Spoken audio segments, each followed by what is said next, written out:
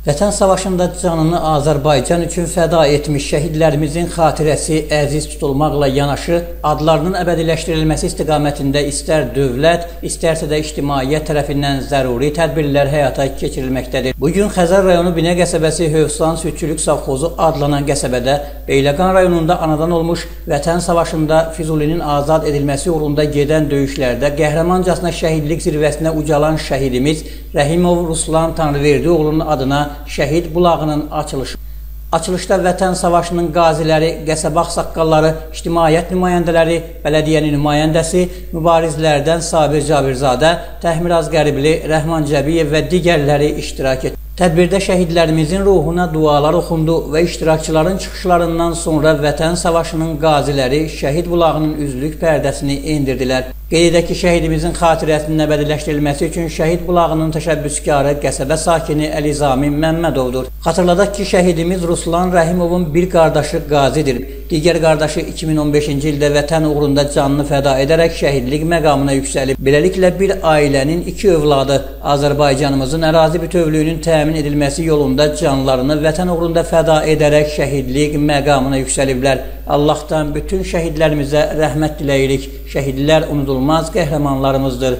Rauf Bağırov, Ümid TV, Xəzər. Qardaşlarımız ki, Əzaminlə Gündüz qardaşlarımız ki, şəhidlərimizin adına ki, burada belə bir bulaq tərtib eləyibdilər gözəl şəkildə. Allah onlara valideynlərinə, dünyasını dəyişənlərinə rəhmət eləsin, şəhidlərimizin şəfaətinə nəsib eləsin, yaşayanlarının sağ-salamat övladlarını, anasını, cəmi yaşayanlarını sağ-salamat yerin göyün bəlasından amanda saxlasın. Yəni, həqiqətən də şəhidlər bizim qürurumuz olduğu kimi, şəhid adına hansı bir addımı atsaq yenə də azdır. Bunu hamımız bilirik. Amma bu da bir cüzi bir hədiyə olaraqdan bu iki qardaşın adından tərtib olunubdur burada. E, bir daha şəhidlərimizə Allahdan rəhmət diləyirəm.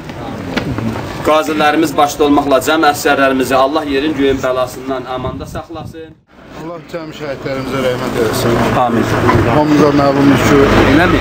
Şeyə zaman torpaqlarımız zaman? oldu. Buna baxmayaraq, Ali Baş Komandanın bir göstərişi ilə əks hücum əməliyyatı ilə torpaqlarımızı azad elədik və şəhidlər verdik.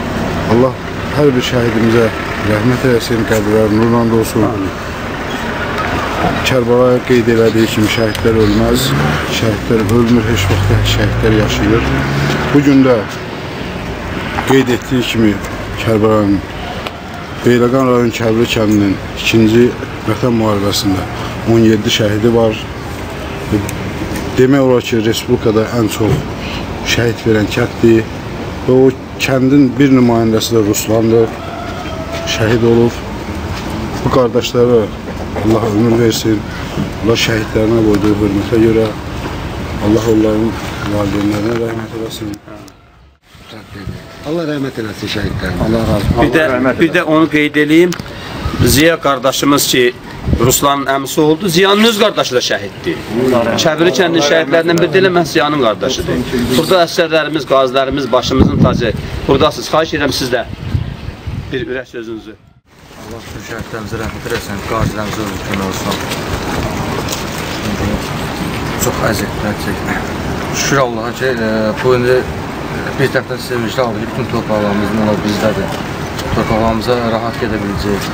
İnşallah. Ən əsas bu torpaqlarımızı aldık. Vətən, ey vətən, ana vətən, Əhsən. heyrənəm sana vətən. Dupduru göllərim var, yam yaşıl çöllərim var, dağların baş-başadır, dərələrin dərindir, yaylaqların sərindir. Nə gözəldir qucağın, doğma odun ocağın. Kəndlərin gürçisəkdir, şəhərlərin göysəkdir. Sakitdir gündüzlərin, coşqundur dənizlərin. Sən dünyanın gözüsən, talehimin özüsən. Sevirəm bayrağını, öpürəm torpağını. Biz bu günləri çox tarixi bir günləri yaşayırıq. Bəlkə də Şah İsmaildən sonra Azərbaycan xalqı heç vaxt belə bir sevincli günləri yaşamamışdı. Həmişə torpaqlarımızı itirə-itirə gəlib bu dövrə çatmışıq. 1813-1828-ci ildə olan həm müqavilələrdən sonra. 27-30 ildir utandığımızdan başımızı qaldıra bilmirdik.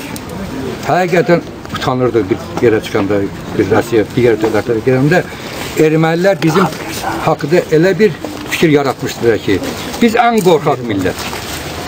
Ən qorxaq millət. Amma Allah ölü öndərimizi rəhmət eləsin. Hər bir rayon işğalı olan günü ölü öndərimiz deyirdi, müvəqqətidir. Biz öz torpaqlarımıza qayıdacaq. Bəli, Allah Ali Başkomandana can sağlığı versin. Onun komandaları ilə sentyabrın 27-sində başlayan vətən müharibəsində artıq Azərbaycan xalqı öz sözünü dedi. Qəsəbəmizin möhtərəm sakinləri bu şəhid qardaşın abidəsinin bulağının ucalmasında, ərsəyə gəlməsində xidməti olan qardaşların əməyi bizim üçün önəmlidir, dəyərlidir. Şəhid qardaşların ruhunun qarşısında baş əyirik. Böyük şair Məmməd ə, Akif Ərsoy deyir ki, ey şəhid oğlu şəhid, istəmə bəndən məqbər. Sənə ağuşunu açmış da durur peyğəmbər. Nə qədər də biz şəhidlər üçün məqbərələr, abidələr, bulaqlar ucaltsaq da, onların etdiyi onların bu xalqın qarşısında göstərdiyi xidmətin bir zərrəsini qaytara bilmərik. Amma xoş o millətin halına ki, xoş o kişilərin halına ki, öz şəhidi üçün ən azından bir abidə uzaldırlar, bir bulaq tikirlər. Onun adına ərsəyə gətirilən hər bir əmək tarixi bir işdir. O işləri hamımız görməliyik, hər kəs görməlidir. Amma şəhidlərin heykəlləri ən əvvəl xalqın qəlbində, ruhunda ucalmalıdır. Ruhlarda, qəlblərdə olmayan heykəllər heç vaxtı tarixdə qalmırlar. Ona görə də bütün öz övladlarımıza, bizdən örnək götürən hər kəsə bu şəhidlərin xatirəsini anlatmalıyıq. Onların nə qədər böyük bir məqam sahibinin olduğunu bildirməliyik ki, onlar unutmasınlar ki, bu torpağın hər qarşı uğrunda yüzlərlə, minlərlə oğlanlar, kişilər öz evlərindən, eşiklərindən olublar. Ailələrindən, balalarından uzaq düşüblər. Onların qədri, qiyməti yəni heç bir zərlə, heç bir qızılla, heç bir abidə ilə ölçülmür. Amma bunu eləməkdə olan qardaşların da əməyi çox dəyərlidir.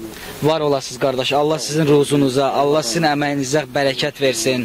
Bütün şəhidlərin bax belə abidələri olmalıdır, belə bulaqları olmalıdır. Bütün şəhid ailələrinin gözü yollarda qalmamalıdır ki, mənim şəhidimin niyə adına bir bulaq yoxdur, niyə bir abidə yoxdur, niyə bir şəkil yoxdur.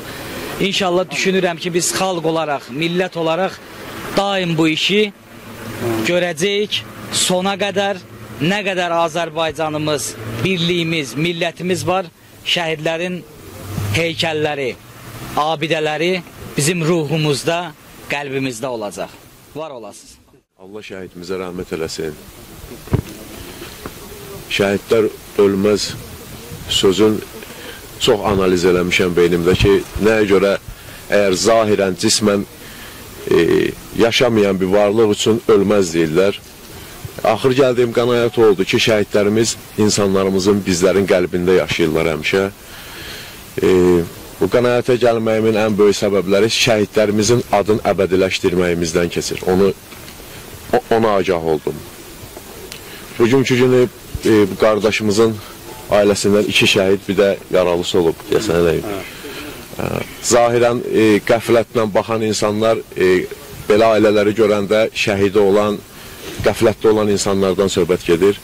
E, yaralısı olan, bəlkə də e, e, yaxşı mən pis mənada ürək açısından baxırlar. Və yaxud da ki, bu dünyanın hilələrinə aldanan insanlar belə şeyləri görmürlər. Amma e, biraz e, batinə baxmağı, ilahi gözlə biraz baxmağı bacaran insanlar e, bu cür ailələrin necə də zirvədə, necə də uca bir yerdə olduğunu görürlər. Çünki bunun qaynağı da Əhl-i Beytdən gəlir, İmam Hüseyndən gəlir. E, şəhid məktəbi İmam Hüseyin məktəbidir şəhidlərimiz hamımız, hamısı İmam Hüseynin qonaqlarıdır. Mən demək istədiyim sözlərin bir çoxu mənim dostum, qardaşım Valeh dedi. Sözümü burada nöqtələmək istəyirəm. Allah rəhmət eləsin. Allah sizlərin bu e, məqbərəni də düzəldən, bu bulağı düzəldən qardaşların da canı salamat eləsin. Var olasınız. Allah rəhmət eləsin. Sağ olun. Rauf Bağırov, Ümid TV, Xəzər.